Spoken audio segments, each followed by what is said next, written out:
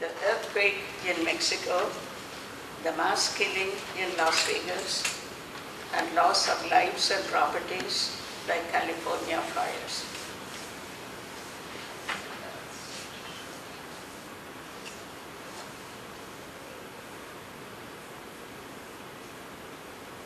Thank you. There are a lot of disasters all in a row for us. Yeah, we- we should be lucky that Irma decided to go the other way. Not so. I think uh, two meetings ago, we had our, one of our members, Dr. Greta, talk to us about the, uh, we should fear sugar more than we fear fat. So this meeting, we decided to have crackers instead of cookies. So there is no sugar in them. So please help yourself to the crackers and coffee. I do want to recognize some of the board members who are here. Um, Annette Brown is the vice president. She's the one who was doing the sign-up sheets. Lana Tillman, I always want to call her Lana Turner. Tillman is the secretary for us.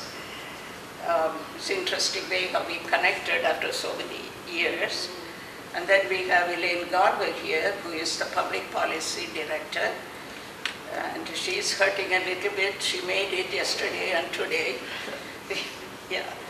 And uh, we have uh, Elaine Ewing at the back. She's the director of hospitality. And Donna Mayers is the new director of membership. She is, uh, belongs to, what is, In Weston, right? what media? In Weston, Laurel Media in Yeah, Weston Lateral Media in Weston, very powerful house. I even met her boss the other day at the, at the Y. Um, Unfortunately, Renee Smalley and Toby Foyer, very active members, both in the Weston branch and the AW Foundation. Both of them are a little under weather, so I say a little prayer for them, they couldn't come today. Toby just got a migraine headache this morning when she got up. So that's that. And I see just one non-member here, and I invite you to join us. And Annette has the application where you could join for less. Instead of 75, you pay only $44.50.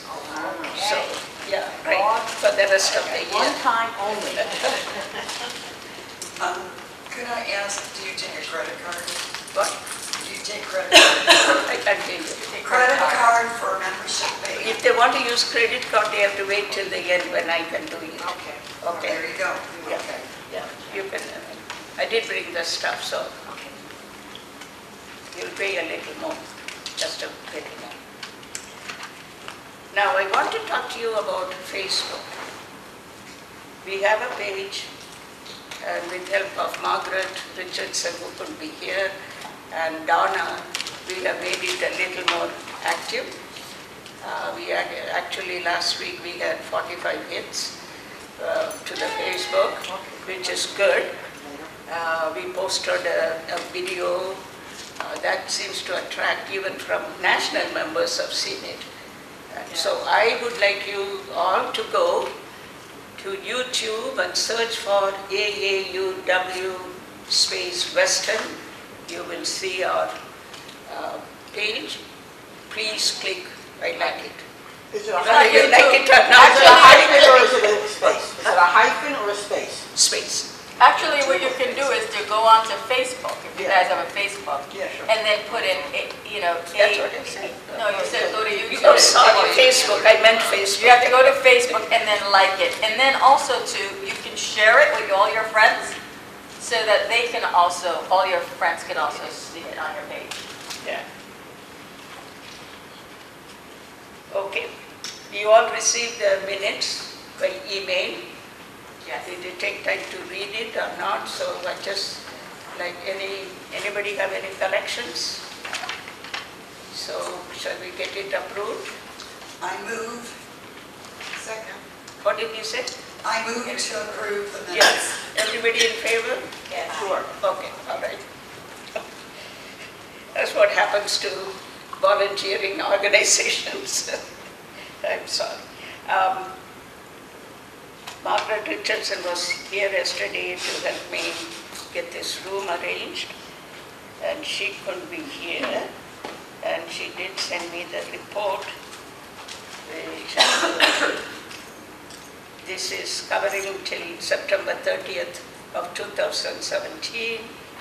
She started in July with a balance of $3,840, had an income of $187.50, expenses $120, and the balance as of September 30th is $3,906.46.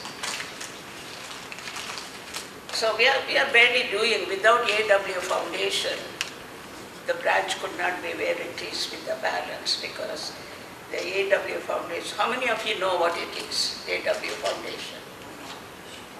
That is our fundraising arm. The secretary is here, Heather is here. Um, It's a fundraising arm, we started it as a 501c3 where donors get tax credit and they have raised money. And that's why we were able to send, sponsor two girls, college students, to the National Leadership Conference. You're going to watch it now. Um, And the library here has changed the rules. Thursday I learned we cannot use the projector Oh, oh, no. because something happens, they don't want any damage. I really don't know how we could damage, we don't touch anything, but Thursday I had to do the research, do the best of my research, and bought this new projector. Uh, And AW Foundation is able to pay for it. Branch would not be able to pay for it. So we need to support AW Foundation and uh, Delane just came out with an idea. You want to tell them about it? Um, I just happened to be at Talbot's the other evening, and I was trying on some clothes, and they were wanting me to do some modeling, and they said, uh, do you know that we do fundraising? And I said, well, how does that work? And they said that you just invite your chapter and, and their friends, and they come some evening, and they'll do a little fashion show, and whatever is bought, they will just give 10% back to, um, to the, you know, to AAUW. So it's a quick, one-shot thing um, that you can get done in the evening, if, you know, that was of interest uh, you know, to anybody. So I can get back to Do they have a minimum number them. of people? Pardon me? Do they have one, a minimum number of people? I can ask them that, if there's, uh, I'm trying to think of the space that they have there. I don't know how much, Probably they're looking for 10 to 15 people, they're Yeah. not looking for 100 people. The right, maximum they'll be able to handle, minimum is the quick one question. right, Yeah. right. So So that's the first question, that's Yep. the minimum, and then we have to have people RSVP and promise to come because, Sure. you know, Yeah, that's something we could do. We- I was thinking. I was just thinking, since it's close to the holidays, and people are buying clothes or gifts or anything like that, because they have a lot of jewelry also.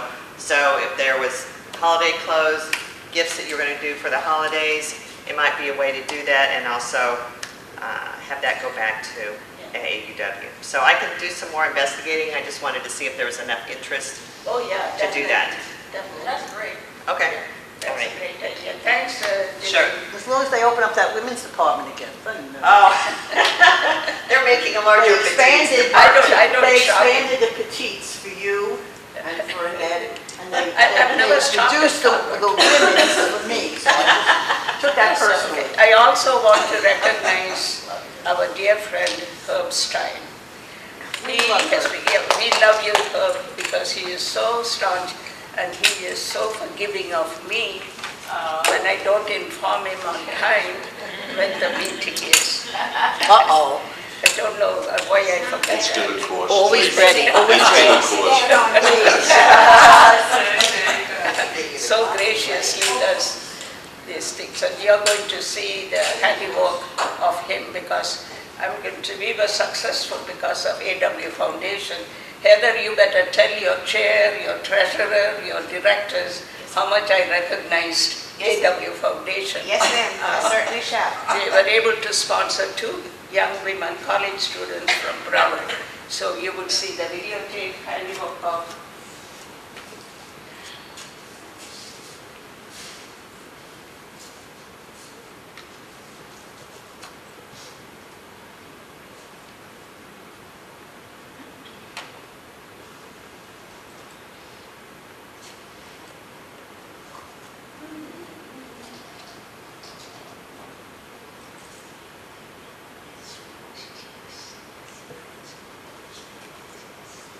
not that I have to get started.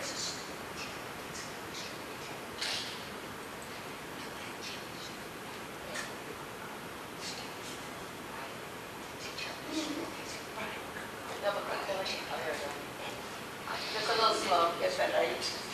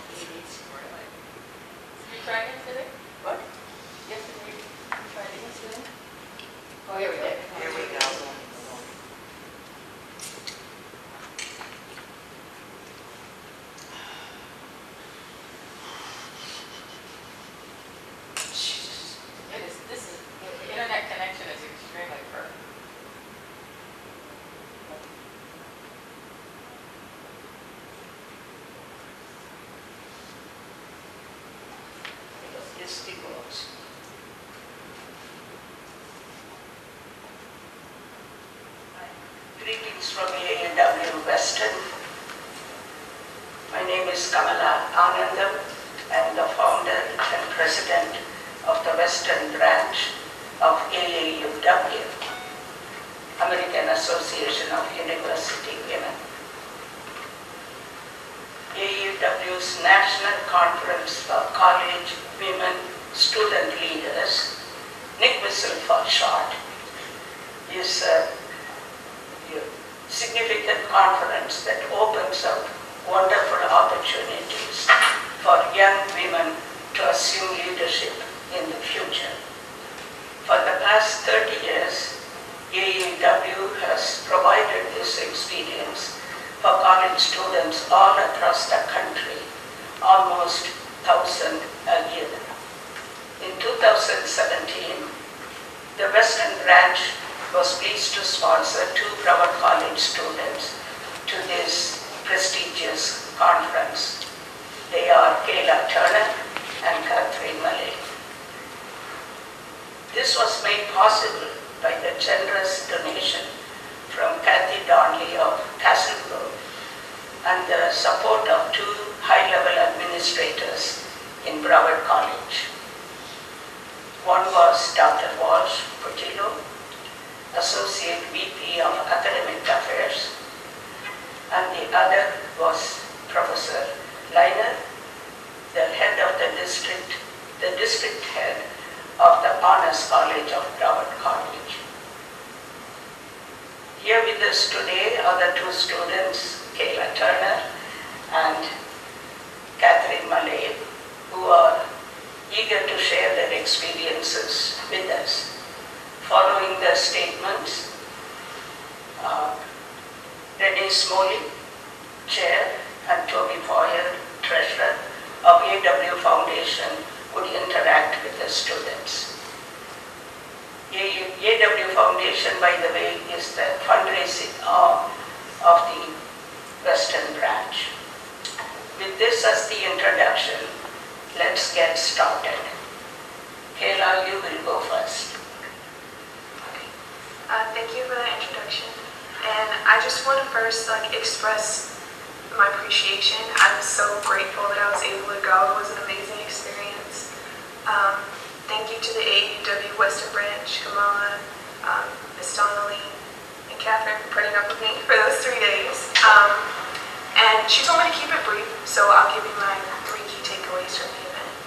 And the first would definitely be the importance of education and leadership, not only as a young leader, but as a woman especially. It's important to always further your knowledge in your field. And I think it was amazing to meet all these women in these different disciplines who have gone on to do such great things in their field, like Rosie Rios and um, Melissa Harris Perry. They've just done amazing things. So that was a blessing. And then my second thing is um, all the interesting and engaging workshops. So I actually signed up for a design workshop, and um, this is a design. I brought one to share with you guys. And basically, a design is like a small uh, booklet that has small quotes or little quotes and phrases uh, to like advocate for different causes. So I learned a lot about message development, which I'm studying healthcare communication, so that's really important and um, a lot about feminism. During the opening ceremony, they asked us, you know, what do you think feminism is? And do you consider yourself a feminist? And I think it has a like a negative connotation when you see it in social media, like, oh, she doesn't shake her legs and, you know, she's very out there. But what I learned was that the definition of feminism is someone who advocates for equal rights among all people. So after this, I could consider myself a diehard feminist. Um, and then my third key takeaway, and lastly, I'll wrap it up with this, is it was beautiful to see like all of these women that I could relate to share their experiences. So again, like at the opening ceremony, um, there was a woman who asked all these open-ended questions, and then we were allowed to stand up, and they would give us a mic, and we could share our thoughts on whatever she said. And I remember every girl that popped up, I was just like snapping and like applauding her. I'm like, yes, like I agree completely. And um, it was awesome to have all of those girls there understand like some of the things that I've gone through being being a woman. And then not only that, it was just the beauty of everyone getting together for this cause, which I love being a part of. So I loved to the conference. So, thank you. Hello, um, my name is Catherine Lave. I am an international student from Venezuela. I was studying at Broward College and I'll be transferring to Columbia University for the fall. And first of all, as Kayla said, I want to thank everybody who supported us in this trip. Uh, it was really, for me especially, a life-changing trip um, because I wouldn't consider myself a feminist before going to the convention. Uh, I was raised in a different country with a different culture, and I never felt underrepresented, or um, I never felt that my voice was my voice wasn't heard because I was a woman. My mom was a businesswoman, so she was always taking the lead in the house. I never felt that women's issue, issues were at the top of my list. Uh, but after going to the convention and after listening to after listening to the wonderful woman who went there, my mind, uh, my view completely changed. And two special women uh, play an important role uh, in that. First uh, was Rosie Rios. She was as ex-secretary of the Treasury of the United States, and she brought these little issues that you didn't really realize. And how, for example, only one statue, if I can, if I remember right, in Washington, uh, it's, uh, represents a woman, and all the other are men. And how these little things in history that you didn't really look into then when you learn and you're like, oh my god, yeah, women are really underrepresented. Women are really not heard all the time. And the other person uh, was uh, Amanda Nguyen. She is a founder from the RISE uh, uh non-profit organization. And she was uh, a victim of sexual assault in the university. And in six, after that, in six months, she was able to craft a uh, Sexual Assault Rights Act uh, in Congress and pass it with um, without any vote against, which is unheard of. It has only happened, if I remember right, 21 times, uh, 21 times uh, in Congress. And something she said is that never give up, and there's always a way to give the solution. And for me especially, I'm from Venezuela, as I said before, and right now we're, have, we're going through a very difficult political situation, and it might seem that we don't have hope. In the last month, where 50 students have been killed by the government, and it's very, it's very sad when you wake up every morning to sad news, and you feel that you have no power because you're only one person, but because um, she was so passionate about what she wanted to do, she was able to do it. And with, her, with the help of her friends, her family, and people who had been through the same situation, she did something that was, as I said before, unheard of uh, in Congress, passing a legislation without one vote uh, against. And um, after the conference, after going to the workshops, learning how women's issues are represented in this country and other countries about the gender pay gap, uh, I really became, the same as a total feminist. And right now, uh, like from on forward, I'm going to have those um, thoughts always in mind. And I'll always, before I speak, I'll always feel like, I will think, okay, how is this affecting different communities? Not just women, but uh, different people of race, different cultures, and everybody overall. Thank you very much. Good morning. It's a pleasure to be here with these young ladies. It's a pleasure to hear what they have been through and seen and what has changed their, their minds and their hearts by going to this wonderful leadership conference. Kayla, I know that you're thinking of medicine, and medicine requires a lot of dedication. And I think, from what I've heard, you are completely devoted to the thoughts and the feelings that you have learned at the leadership conference.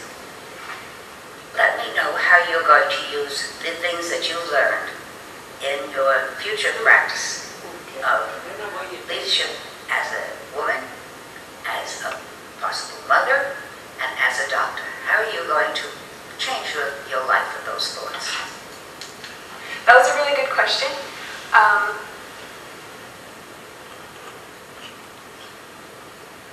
I would start by what I what I learned from the conference was that our limitation, our potential as women, our potential as women is limited only by the expectations and goals we set for ourselves. So I think it's important to set high goals and high standards for myself. And as a doctor, I think that's a given. But also, as a woman, it's important to set an example for other women who want to pursue a career in STEM, who are underrepresented in the field. And I think they should have role models readily available to them. That way, they're able to have um, someone to like, someone to, someone who's able to guide them through that, that, um, that journey.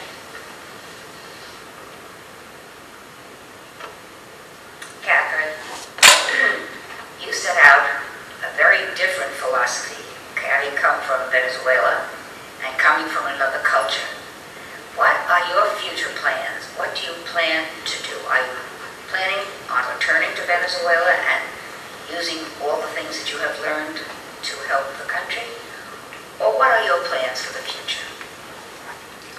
Thank you very much for the question. Uh, so my major, what I'm studying is environmental economics.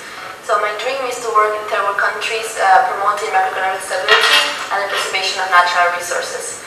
My biggest dream in life would be going back to my country and helping my country rise to what it can be. Because Venezuela is such a beautiful land with amazing natural resources, the most friendly people with the best intentions. And unfortunately, because of the political situation that we have right now, many people have had to flee the country. Uh, there's people dying of hunger. Poverty has risen from 40% to 76%. So my biggest dream is to go back and help my country. But I would like to do that in every country of the world. I, uh, I've been I've been given the opportunity to travel a lot during my lifetime, and I have this sense of wanderlust inside me, so I cannot stay still in one place. And uh, my biggest dream will be working with the United Nations, uh, with their uh, development program, and working in different countries. And that's why the convention was so important to me because uh, women uh, are especially very important to eliminate poverty. That's one of the global goals for the United Nations for 2030. 50% of the world is women. And some countries cannot progress because they have women as second-class citizens. But when you empower women, when you give them the opportunities to have their own businesses, to be uh, their own owners of the body and mind, then the whole economic perspective of a country can change. So going forward, uh, I'm really excited for what it's coming for. I'm moving to New York, so uh, it's going to be a totally different experience. And uh, I will have the opportunity to work with the United Nations. And after that, we'll see. But definitely going back to my country and help my country rise, in my biggest dreams. This has been very, very interesting for me personally. I think these two girls were chosen well. I'm very proud of what they're thinking about and what they're going to do. And I'm so happy that they feel this leadership conference, which we were able to provide them with, has made such a big difference in their thinking. That is what we really had hoped of the, the whole thing was just the end result. The end result was what you want to do in your future, Kayla, and what you want to do, Catherine, with your future. Very, very inspiring. It was nice to know you. Thank you. I'm so pleased to be here today with these two extraordinary young ladies. Uh, Renee and I met with them before they left on their trip, and uh, even though they had a little difficulty in getting to the conference, they really, really knew what to do, and I'm very proud of them that they did not panic too much, and they were able to make other arrangements uh, with Kamala's help to get to the conference. Uh, you spoke about meeting uh, so many women at this conference, and I would just like to know what was your impressions? Uh, did you meet anybody in particular besides the two speakers that you felt you really uh, were very impressed with their, you know, what they were saying? But did you meet any other young ladies like yourself? And uh, what was your impression of the whole experience? Uh, did anybody stand out, or did several women stand out in your mind? What, and what was the age group, basically, whether you all around the same age as college, going into college, or college students? Uh, I just want your impression. Uh, I know you were very excited. This is a new experience. Um, we've had the occasion of working with women, especially with the AAUW, how to empower women, but I was just interested in your reactions as to meeting such a diverse group of young ladies. So, if, Kayla, if you can just let me know how you felt about it, I'd appreciate it. Of course. So I, from the moment we arrived in Maryland, I think we, we arrived at the metro station. There were a group of young ladies waiting to get on the bus, and that's when it all started. That's when we met people from all over. I met a girl from Massachusetts, a girl from Hawaii, from, from everywhere. And on that bus ride, we talked about, you know, what our majors were, small talk, and that's when I really got the sense of being around so many amazing women. So I met this girl named Amanda, and she was studying physical therapy. She was actually, she actually had a prosthetic leg, and she told me her backstory of why she wanted to get involved in physical therapy and the impact it had on her life. And I mean, after she told her story, I had like goosebumps, and I remember thinking like, wow, like I need to do more with my life. She was just a very inspirational person, and I was honored to meet her. And I actually had the opportunity to hang out with her on the night in DC when we had a little time to ourselves, and we it was a group of I want to say maybe like five or six girls, and we had the opportunity to just go out and grab food and talk and just I mean, I still have their numbers and we text, and I think it was a really amazing opportunity to make new friends. So. Catherine, I'm going to you the same question. I'd like your opinion of your impression of Um, I know that you came away feeling more, more of a feminist than you did before, and your ideas of women uh, in business and women in the world. And what was your impression about meeting all these different young ladies and the diversity of the group that you met? Yes, so uh, when you are an independent woman and you have all these dreams, sometimes you can feel like you are uh, by yourself in the world. Of course, I have the, the biggest support of my parents, but uh, it's sometimes difficult to be in a large group of women who think the same way as you. And uh, it was so refreshing to be there with all these young women from all over the country who were as passionate for human rights, women's rights, as I was. And uh, every time I met somebody, somebody different, they would tell me their story and the things they were doing in their college campus to reduce sexual assaults, uh, to reduce, uh, to increase awareness of uh, the gender gap, and many other women's issues. It was amazing and it, it, it inspired me, uh, Kayla, to want to start an AAUW chapter uh, in Broward College. So unfortunately, we're leaving, we're transferring for the fall semester into another universities, but we have friends in South Campus who are really excited. We told them about our experience in the conference and they're super excited to start uh, a chapter in Broward College. Uh, we even talked to the uh, officers of uh, AAUW because it's not allowed in community college and they are thinking of changing the rules so we are able to create a chapter. And in general it was amazing me to getting to know women from all over the country because it shows you a big support. And they were all very open. They wanted to know the stories of everybody. There was no judgment in their words. And it was really refreshing to know that you are not alone by yourself. And there's a huge group of women out there who are fighting for the same things you're fighting for. And I, am very, very pleased uh, that you had this wonderful experience because it's really once in a lifetime. And you said, Kayla, uh, and I'm sure Catherine, that you're going to still keep in touch with some of the young ladies that you met uh, because you never know, down the road, your paths will cross again.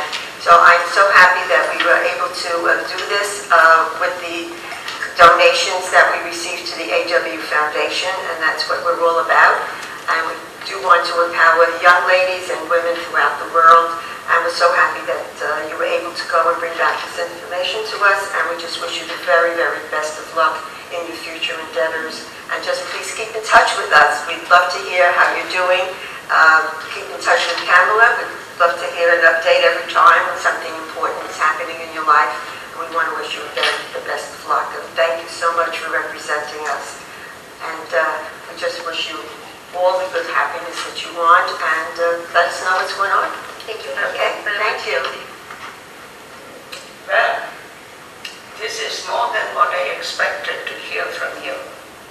I am so pleased that this conference has had such a high impact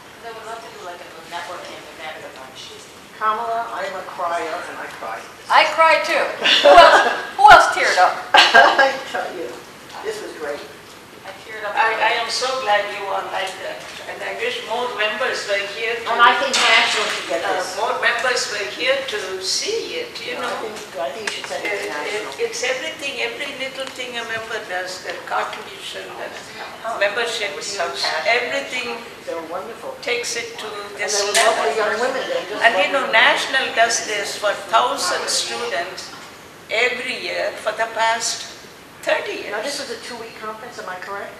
No, it's only a three-day conference. Three days? Oh, my It it God. starts on a Friday, 12 noon, Uh-huh. and goes through Sunday night.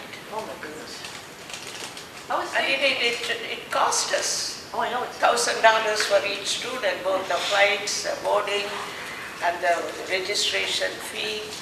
But we did have it, you know. So uh, we want to continue, and Broward College, uh, the administrator who worked with me is uh, Professor Liner. She's very happy to continue because I sent the videotape to them. If Herb wasn't there to make it for us, to edit it for us, and put all the names and other things, you need an applause.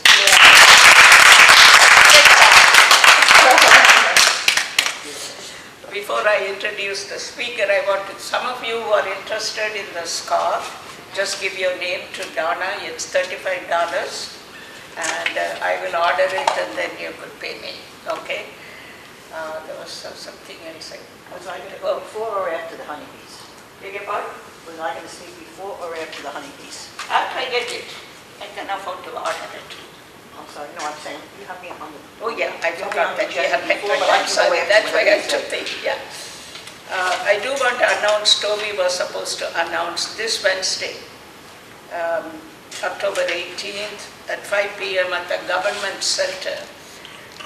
The Broward County Commission on Status of Women is having a human trafficking forum. So if you want to go, it's at 5 PM. that's Andrew's, on Andrew's which stuff. day, on which day? Wednesday, Fort Lauderdale. Fort Lauderdale, yeah, the government center at Fort Lauderdale. I did email the information to you. Another. And then uh, Elaine Garber is going to tell a few words about say yes to second chances. Good morning. Okay, uh, well, I'm pretty familiar with this because I'm also on the board, I'm the secretary of the League of Women Voters of Broward County, and we've been involved in this effort for a long time. The, the- we're calling it Say Yes to Second Chances. It's a voting rights restoration. In the state of Florida, if you were a convicted felon, and this could be a nonviolent felon, not murderers, not rapists, if you are, if you were a convicted felon 20 years ago, your voting rights were, were eliminated for the rest of your life. Now, after five years, you can quote-unquote apply for restoration of rights. But you need the governor and two other people on the executive, of the executive of the state, which means that 95% of the people who apply for voter rights restoration do not get it. I met a few.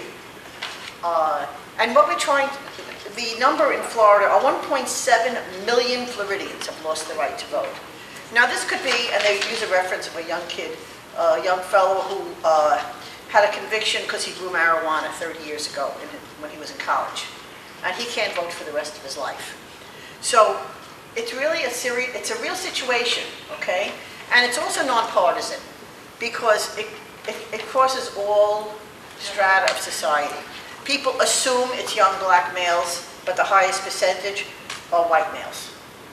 And so we've been trying to get, we tried to get it on the 2016 ballot. It did not make it on 2016. We're trying to get a- an amendment on the 2018 ballot. We're only asking you to sign the amendment, to sign, uh, to have it put on, on on the ballot. We're not telling you how to vote, okay?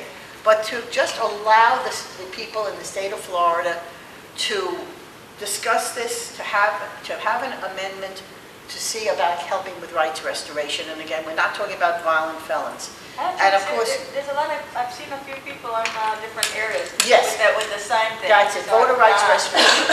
and- And and we used to call it, we used to call it restoration of rights. Now we're calling it say yes to second chance because some people, you know, they see felon, they don't want to know anything about it. But the point is, we give second chances to lots of people, to lots of things. And, and people who have, especially, you know, uh, it's not a misdemeanor, it is a felony, but you don't, there's such a level, and especially with what was going on with drug enforcement 20, 30 years ago, there are many people who are living active, prosperous, good lives who should be allowed to vote. So we have a bunch of petitions in the back. Uh, Please, if you haven't signed one already, please come to the back at the end of the meeting, and if you have any questions, I'll be happy to answer them. Uh, And also, this flyer, there's a little more explanation, if someone wants to see, we may have a few of these also. Anyway, thank you for listening to me, and I hope you'll support this.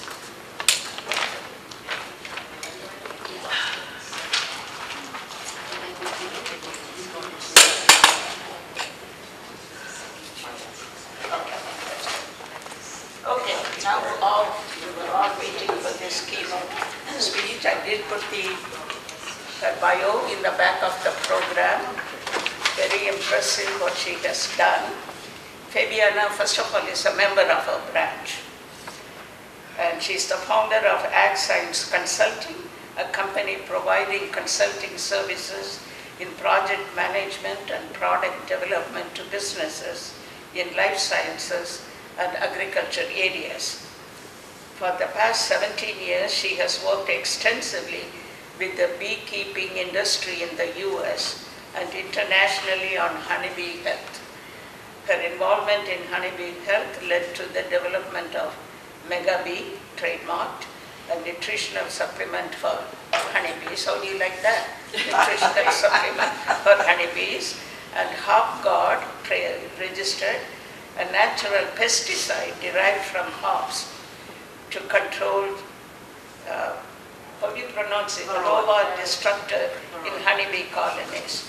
Prior to funding Ag Science Consulting, Fabiana was the director of research at SAVE R&D, conducting research on honeybee nutrition, diseases, and developing products for the honeybee industry.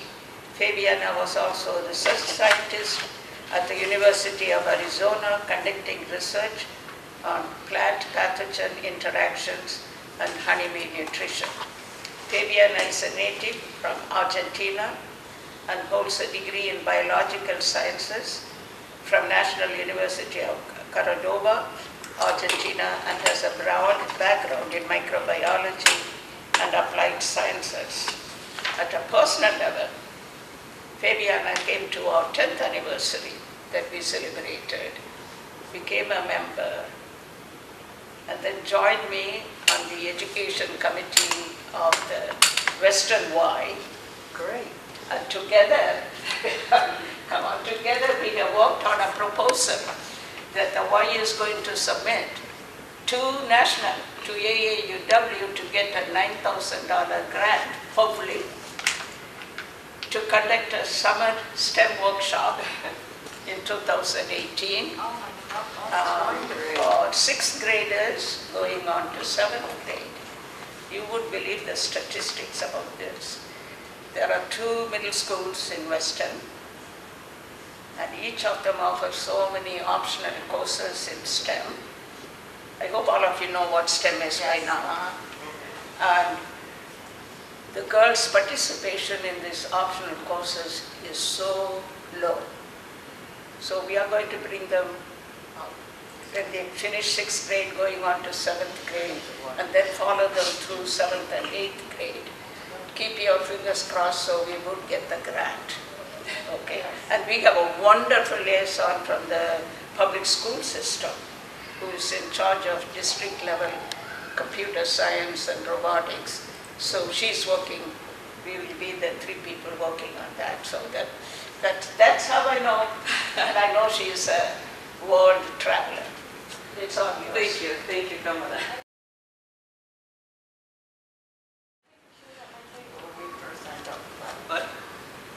Go first, go ahead. Okay, okay. Well, I have a little cold, I have to apologize, and I can't hear very well. So if, you know, if I'm a little slow, just bear with me for a second. Okay, Pamela, Kamala asked me to talk about honeybees because something that I've been doing for so long. Um, Previously, before I joined the honeybee research 17 years ago, for me, bees were just little insects, cute, they make honey, and that's it. I didn't know anything about it. But over the years, I was able to work in different fields and learn more. And at the beginning, I thought, well, I'll do this for a little while, five years, and then I go back to my microbes and do other things. But bees are so fascinating that I invested so much time in it, and I'm not, I'm not going anywhere. I just, I, can't, I can't go anywhere. So before I, I go into um, what is going on with the bees, just a brief um, picture what you know what bees do and what is pollination. Bees are you know the best and the perfect insect to pollinate crops for us to have the fruits and vegetables that we eat. And pollination is very important, especially in agriculture, that where you when you have massive agriculture, you need bees, and bees get transported from different states to places like California. So basically, that why you know pollination is important to us and what the role bees really play in pollination. I don't know if you know this, but this is a small portion of what really shows what, what shows what pollination is, what how important bees are. So one third of the foods that we eat is pollinated by an insect. It doesn't matter if it's a honeybee, if it's a fly, it's a bumblebee, doesn't matter, but it needs to be transported, the, the transfer of the pollen in the plant, in the flower, it needs an insect. And mostly for agriculture, it's honeybees. Why I say honeybees? Because honeybees, they have been domesticated over the years, over centuries, to be in little boxes. So they live in these boxes and you can move them around to different places, set them in an orchard for two or three weeks, they do their job, and then beekeepers move them away to different places. So here's a map of the US and showing the different um, pollination areas. And you can see different colors. So the darker colors, like California, like Texas, and Florida, is the dense, is the amount of acres that they get pollinated, especially by honeybees. So California is very rich, it's the heart of the agriculture in the US. Everything grows in California. And beekeepers that are everywhere in the country they are here in Florida, they are here in the East Coast, in the Dakotas and Texas. They put their honeybees in these trucks and they go cross country and they move the bees to different places. So they will start in California, they will be there in February to pollinate almonds and from there, two or three weeks afterwards, they load their bees back, they go up all the way to the north, to Washington State, to cherries, to apples, to pears, go to blueberries, and then they go back to the East Coast, pollinate more crops, and they're moving all year round. It's a very intense practice, and it's very stressful, and it's very expensive. But the way that life is going and the way that agriculture has changed for the past 30 or 50 years is that what has driven us, or driven this practice to be moving bees everywhere they go, everywhere they need to go. This is just to show you what crops are dependent on pollination. Pretty much from A to Z, it needs to be pollinated, everything that we eat. I highlighted in red what is mostly pollinated by bees, because most of them, they need an insect to be pollinated, but specific ones like almonds, apples, and cranberries, and asparagus, they need bees. This is a... Sorry. Oh, okay. Okay. this one, the vegetable seed, That was my question. this is interesting. Um, I was talking to my husband last week about when I put my presentation together a week ago and showing this to him. And my husband is in agriculture as well, but he sells seeds. And he said to me, this is interesting because you are showing a slide here with fruits and vegetables and everything that we eat from my view, but from his view, if we don't have bees or other insects that will pollinate a flower to create a fruit, and that fruit will bear seeds, he will not be in business. so bees are needed not only for you know the fruit, actual fruit or veggie that we eat, but also to grow that fruit we need seeds. So it's you know somehow we figured a week ago that we are working and we're kind of related to each other in that sense. Okay, I don't know um, how familiar are you with honeybees, but these are the bigger players in a beehive. So we have the queen, which is there with the green dot, and over here it's the cohort that is the drones and the workers. The reason that queen is painted green is because when you go and inspect the hive, it's easier to see her where she's moving and what, what is she doing. You don't really need that, but for easier purposes, they paint it with a little dot. And the company that makes queens, the queen producers, they use different colors. So every year will be, one year will be red, the other will be white, blue, and yellow. So when you put a queen in your hive, if it has a color dot, when you go back a year or two years later, if you see that color, you say, oh, this queen is probably one or two years old, so you can see how long that queen lived in there. Queens can live up to two or five years, depending on the strength of the queen. And their only job is to rule the colony and lay eggs. That's the only thing they do. They have a cohort of bees that they take care of her, they feed her, they groom her, they move along with her, and she does nothing else. She mates once in her life with multiple drones, and then she goes back to the hive and she lays eggs.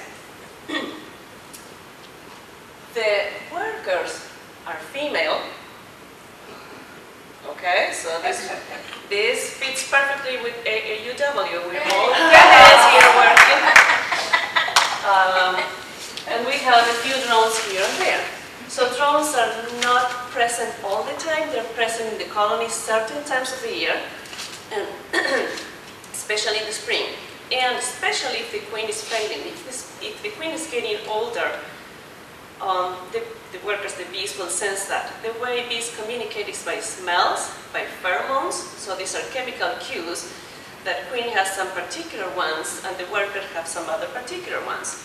So they, when the queen is not releasing her perfume that she's young and still able to lay eggs and be active, that smell is getting smaller, lower in the colony, and the workers realize, okay, we need a new queen, and for that we need drones. So that's the only time of the year when drones are present. Drones, they don't have a stinger, so they don't sting. They're big and fat. Um, they don't forage. They don't bring any nectar. They don't bring any pollen. They just stay in the colony. They get fed. They get raised for only one purpose, which is to mate with the queen. And after they mate, they die. So, um, yeah, they don't last very long. so the, the, the bee population in the hive, it fluctuates depending on the time of the year. Um, in the spring, the colony is getting bigger because the bees will live shorter. So there is an overlap of population growth when bees are dying, but the other bees are emerging. So the colony tries to keep that population so there's always food bringing into the colony and they can take care of the brood, they can take care of the queen, they can bring nectar and pollen and they can be productive. Just briefly to show what their job is, the queen just lay eggs and then they are the the workers, they have different roles in the colony and they can rotate in between. They have nurse bees, they will take care of the babies. They, have, they take care of the queen. They go, there's some specific jobs. The nectar foragers are bees that just go and collect nectar and come back. The pollen ones, they just get pollen and then come back. They regulate the temperature, bring water, so they're always working and changing roles in the hive. So, what is happening to our bees? You probably heard it's going to be 10 years now in, in 2017 about the colony collapse disorder. There was a symptom, there was something that happened to beekeepers in the east, uh, in the northeast of the country, where suddenly when they were getting their colonies ready at the end of the year of 2006, early 2007, that they would open the hives and the colonies were gone. Colonies would disappear, colonies looked healthy, and bees were completely gone. It was food, there was brooding there, nobody knew what was happening. So it was this whole revolution in the country, and I was able to go and attend the USDA for this emergency meeting here in West Palm Beach. So I came here with a big group of people, scientists, trying to figure out what was going on. And a lot of money from the government, uh, from the university, started pouring for honey research. What was it? So the CCD is the colony collapse disorder. And everybody was looking for the smoking gun. What was the problem? Was it parasite? Was it virus? Was it nutrition? Was it environmental? People were always talking about uh, there is the frequency that the communication towers, they're you know, emitting that affects the, the honeybees and they're getting lost, they don't know how to come back. They were blaming cell phones there was a lot of talk about it, but it's not a disease, but it's more like a, it's a symptomology. It's a symptom that the colony, for some reason, is not doing well and decides to leave. Still up to today, we don't know. We can pinpoint some factors that we can tell us, okay, this may affect this behavior or other things, but still we don't know what is going on. What we know is it affected the adult bee longevity, how long that bee lives. Pesticides play a role in that, we know that, because pesticides outside the hive and inside the hive. Outside is, in agriculture, pesticides are everywhere, even in our own yard we do that. You know, we do for mosquitoes, we do for pests, for other things. And in the hive, we do have to treat for certain parasites. So beekeepers, they have to put pesticides in it. Otherwise, they cannot really keep those, those hives going pathogens as well, viruses, um, bacteria, and mycoplasma, which is the cross between uh, a bacteria and, uh, and fungus. There are also environmental conditions when there are no resources in the fall.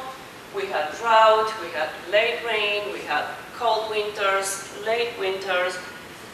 When the winters are warmer, what is happening is the bees, the colony is expanding and they fly because the weather is warmer and they go on flight. But when they fly in the winter, there is no flowers, there's no nectar, there's no pollen, so they really burn themselves to death when that is happening. So the environmental factors really affect the colony behavior. Migratory, as I showed before, this is how beekeepers move their hives. They have to use forklifts, they have to transport the bees, move them around the country, and sometimes they get accidents that you probably saw in the news, like every year at the beginning of the year, something will happen in California or in the Northwest that you know, bees will die. Nutrition and, and parasite is one of the biggest problems that we were facing. Why is it nutrition? You might think, well, there are flowers, there's nectar, there's pollen, isn't enough for bees. When you put bees in little pastures like this, isn't enough? Well, it's not, it's not enough because the way agriculture really drives the the bee health is you put bees in monocultures. You put it here two or three weeks in almonds, you move it to cranberries, you move it to blueberries, you move it to apples.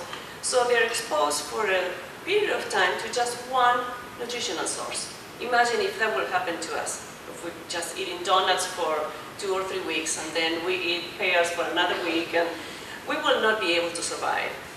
So that is really important for the bee health. And that's where supplemental feeding comes in. Supplemental feeding, as, as the word said, is just to feed the bees something extra that is not present at that time. And I worked on it because there is a need for that. So this picture, um, what do you see here? What you see here is Lost Hills in California, Central Valley, up in the hill, those little dots that you see there, these are colonies, these are beehives. These are little beehives that it looks like housing development if you look from above, right? Well, um, the biggest beekeeper in the country that I've been able to work with him for many years, he has around 90,000 colonies. That's a lot of colonies. He brings those colonies from North Dakota to California to get ready for almond pollination. Almond pollination is the first pollination that happens, the first crop that needs to be pollinated at the beginning of the year in California. It's the first crop that needs to be pollinated, almonds.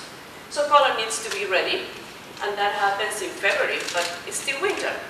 So when you bring them here, what are bees going to do there? Do you see flowers there? No. There's nothing there, okay? These are called holding yards. So you put your bees in there, but you have to feed them, because if you don't feed those bees, nothing is, those bees are not going to grow. And you need to have them strong because the almond acres in California for the past 10 years have been increasing exponentially so high. There are 1 million acres of almonds in California. That it's a lot of almonds there. That's a lot. It's a big industry, it's the 11 billion industry, so it's big. 80% of the almonds that are grown in California, they get exported, and around the world we eat almonds from California everywhere. Honeybees are the only ones that pollinate almonds. So if they're not honeybees, we don't get any almonds at all. No almond milk. No almonds at all. No almond milk, no milk. Nothing, nothing at all. Approximately, we have 2.5, 2.7 colonies in the US. That number fluctuates because colony losses, beekeepers lose colonies every year, every, every year. And we need approximately 2 million colonies to pollinate almonds in February. February is still cold, California is rainy, the colonies are smaller, still winter. So what do we do to keep colonies larger and stronger? We need to supply food, food that naturally is not there. So you have to give it to them artificially. So these are different ways of feeding colonies. When I worked on, on supplemental feeding, you look at the nutritional value of different pollens, what's the proportion of proteins, amino acids, lipids, minerals, you name it, and try to mimic something like that. You have to put sugar, they need carbohydrates. So you make the supplemental feeding for the bees so you can tell the bees, okay, it's spring is coming, you need to eat. Why do we do the supplemental feeding? Because we need those colonies stronger when there's no pollen. Those colonies need to develop. They need to have bee populations for nectar flow, for foraging, to build populations. We need to have, when we put colonies in almond orchards, it has to be a certain number of bees that they can fly and pollinate. If we don't have enough bees, there's no fruit set. So what you're doing is really pushing, you're artificially pushing those bees against nature because you, the demand of agriculture, it needs to have those bees ready. And we need to supplement artificially, there's no other way around it. So what, that nutrition was one of the factors of this colony collapse disorder, that nature is not behaving the way we need it, so we need to supplement feeding. On the other hand, bees get parasites. And varroa, well, you haven't heard about it because you're not in the bee business, but this is the number one pest that is really targeting the hives everywhere in the world. There is only one country, continent, Australia, that doesn't have varroa. The rest of the world doesn't. So this is the parasite that jumped evolutionary from Asia to honeybees, to domesticated honeybees. It's small mite. Uh, it looks small, but it's, but it's not that small. You can see with your naked eye. And if you try to proportionally see what will look that, is they say that proportionally would be like a basketball. That we, if we have a basketball feeding on us all the time, what it does is stays in the hive and feeds either on the adult bee or on the larvae, transfer viruses. Oh and what, is, what it does is it reproduces inside the cell, so it, it needs to feed on the blood of the honeybee, uh, shortens the bee's life, uh, transmit viruses, and one of the viruses is the formed wing viruses. So this is a normal honeybee with wings, and this is a deformed wing virus. So the wings, they do not develop, they get all sugared, and when that happens, that bee cannot fly. That bee cannot go anywhere, so she's not active, she cannot bring pollen or nectar, she cannot take care of the hive, so that bee will die. The problem is when you have this parasite that stays inside the hive, it's constantly feeding and constantly reproducing. So you have to treat with pesticides, either synthetic or natural pesticides. The problem is that over the years, this parasite became resistant to these pesticides, so beekeepers have to treat more or try different things. And those pesticides, they leave residues in honey or in wax. It, it's, it's a very difficult situation that they're facing because if they don't treat, they lose their hives. And if we don't have any fights, hives, we won't, won't be able to have any food to eat, basically. Just potatoes.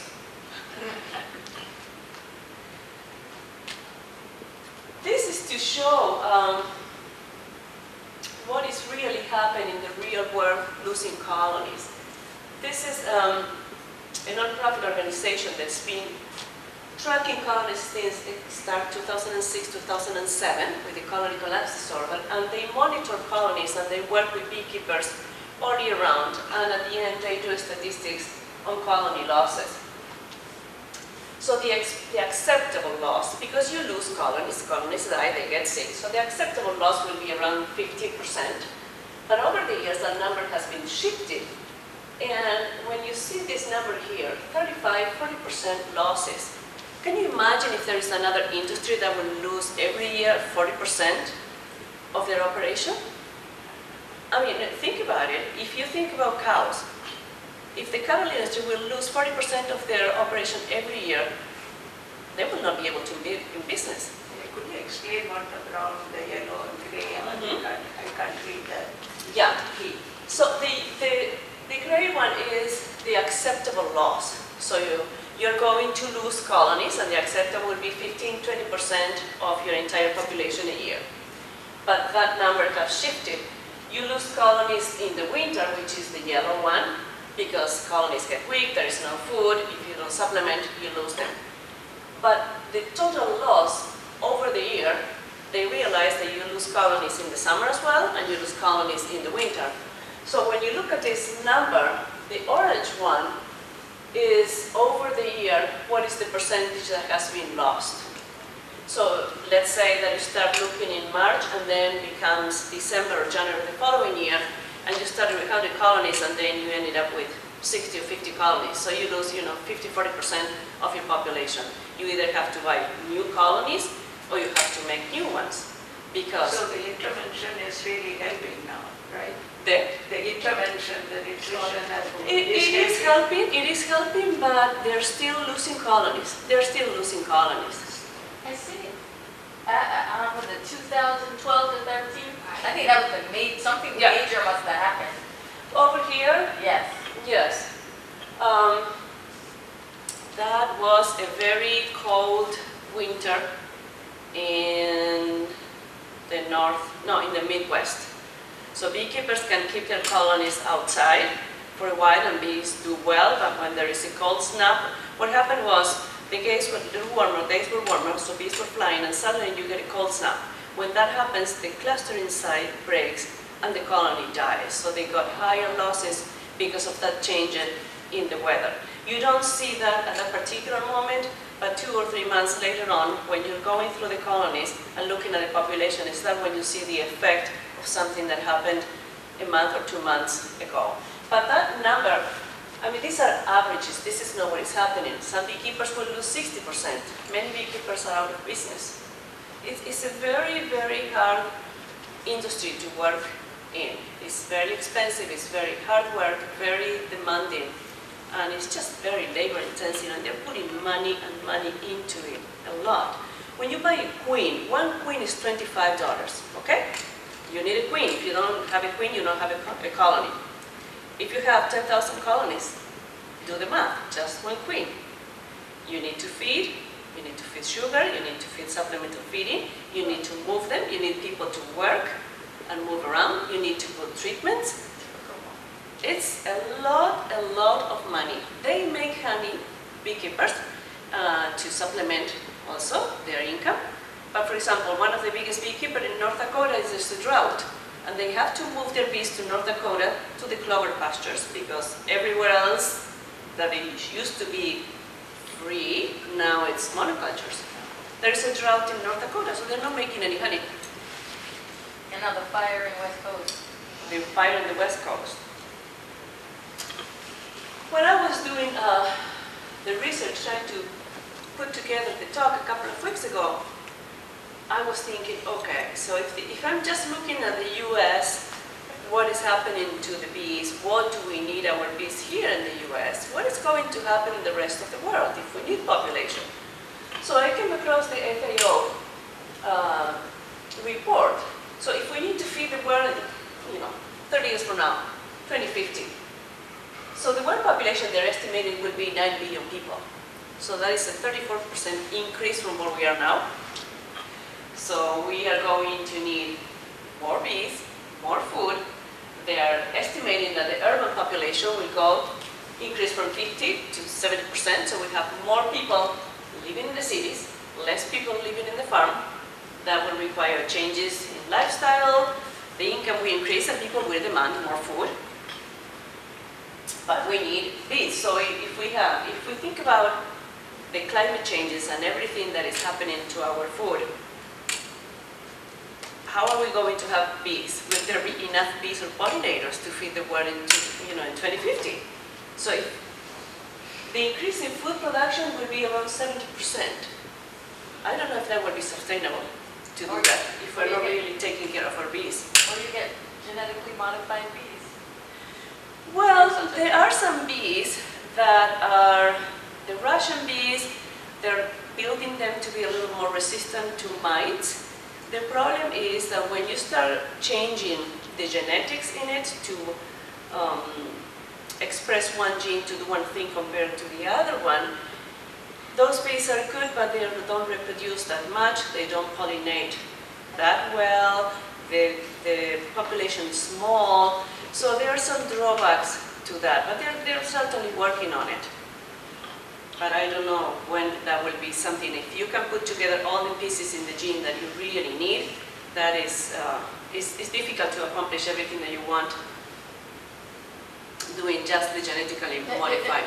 The thing that I was thinking about, you know, how nowadays with, with medicine, how they're using uh, gene therapy. Mhm. I would imagine, this is me thinking, that if you do some kind of genetic modification gene therapy to combat that virus, I'm just thinking in my Yeah. head. That maybe there's a way to grow that population. Yeah, that is true. Um, there is there are many viruses that varroa transmit, not just Uh-huh. one. Oh. There are many, and last week they discovered, another one that is the number two compared to this one. But um, they are looking for these are RNA viruses. Um, they're looking for a treatment to combat that. But if there is a mutation or something, it might go wrong, and you need to feed. It's, it's, it's very complicated. They're looking into that. Actually, Monsanto is getting into the bee research, and they're trying to look for a solution for that. But that is way down the road. Monsanto. mhm. They're the biggest. They're one of the troublemakers. They're the largest. Yeah. yeah. The they're, they're looking into, into research. Um, I was, they gave kind of a, a press opening, and they invited me two or three years ago to go and, and give a talk to the press about bees and the life of honeybees. So they're trying to get you wear the white hat, as they say, to work with, uh, with beekeepers. But that is a study that is, I don't know when is that going to be finished. So kind of to summarize, how do we take care of the bees if we need so many bees for 2050? We need to provide more forage, restore land. There is, um, in the last presidency, there was, um, I don't know if it's, I don't want to say a law, but to have more land dedicated for foraging and free for honeybees. So if we keep in that direction, that might help not only honeybees, but other pollinators as well. We need to reduce the pesticide exposure, but it's difficult because the, the size of the agriculture here in the country, they're constantly treating for mold, for pests, for flies, so it's, that's very difficult. But as long as we keep doing what we're doing, I don't know if we're going to have enough insects to pollinate all the crops that we need. Change in agricultural practices, and also implement an IPM. So an IPM is an integrated pest management system that if you use all the time exactly the same treatment, that's a recipe for disaster. So if, if you can combine something natural with something synthetic at the same time, you are, the chances of that insect, in particular honeybees, to survive will be higher. Especially to combat varroa. That's the number one. That is one of the main projects that I'm working on um, with the biopesticide. As Kamala mentioned, uh, I didn't put it in here because it's very science oriented. But one of my clients is, uh, they are in the hop industry. So they, they grow hops for beer, but there is a division of the company that they're called Beyond Brewing. So they use hop acids, they have antimicrobial properties, and they use it for different um, uses besides the beer. So they are using the ethanol production, they are used in the sugarcane production. Uh, six, seven years ago, they came to me through other projects to work on a biopesticide. So some of these acids are effective against varroa. So I'm working with them on that and delivering that product onto the bees, not killing the bees, but killing the mites. And we're in the reformulation process because the product doesn't stay long enough. So this past week, I was there. We had kind of an emergency meeting on Friday. One of the scientists from the UK came, long story short, uh, trying to develop something better to combat varroa that, that is natural and it doesn't leave any residues in the hive. Working on this um, implementation system. And that is all of my presentation. This is, I put this picture to kind of show, um, not to me, but to the rest of the world, what, what do we have? I've been to these places. These are hives in almond orchards. So all of the research that I've been done in places, so you put the bees in here, these are the almonds, they go pollinate, you go back a month later to check on those hives. You see how the fruit is set and growing. These are raspberries. I was doing research on, on honeybees and uh, seeing the workers there, it made me think about, you know, when I go to the grocery store and buy that little plastic of Driscoll berries, that's where I was. Okay, what is the connection? I was at that place and you see those girls and, and men there with their little baskets so they you know, grab there, and then the truck comes, they pour those berries in there, they have the whole system going on there. So it's just kind of, you know, going back in circle. This is kind of the technician that I work with. So from the hives that we treat and take care of, it's kind of, you know, a little sample of what we eat. Yes? Fabiana, I just want to ask you two things. One is out of curiosity. If the drones are not with the colony the whole year, what happens to them? Do they stay behind somewhere? Like, how do the drones survive? They don't survive. They don't produce, the, the number of drones produced is small. And they go and mate. That's their only job. So when the queen is raised in the hive, she needs to mature for 12 days and then she's ready to become a mother. So she goes and fly. So they go in these mating flights. And the drones, they will go and congregate like hundreds of drones with one queen. And she'll mate with few.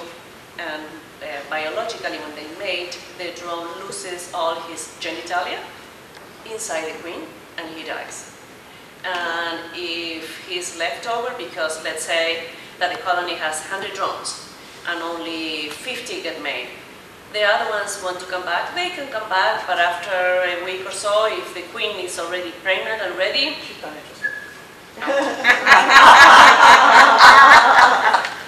because they, they um, yeah, they, they don't provide any um, help. But are they staying in, in geographical areas? Like, how do they keep their population going, the drones, if they're not traveling with the colony? They don't, They it's don't? just the colony regulates when they need drones. Drones are not out there in nature per se. right. You will see them in spring.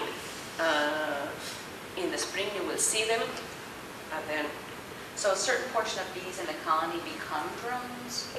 what happens is, yes, they do, but it's regulated by pheromones, by smell, Right. And when they need a new queen, they need a drone as well. So they will raise 50, 60 drones. They will raise a number of drones. Some of those drones will be used to mate with that, not particularly with that queen. They can mate with any other queen, but they don't stay in the colony all year round. Okay. No, they don't. And they decide, it's genetically decided. Like, um, the queen will not lay drones. That will be the workers. Okay. And um, genetically they're haploid, so they can reproduce. Okay. And then the follow-up question is, what's the difference between organic honey and how those colonies are managed versus commercial? Mhm. Organic honey is, is, um, is not one way, it's just too many ways. Is what a beekeeper does to treat his hives and also the crops that bees will get their honey from.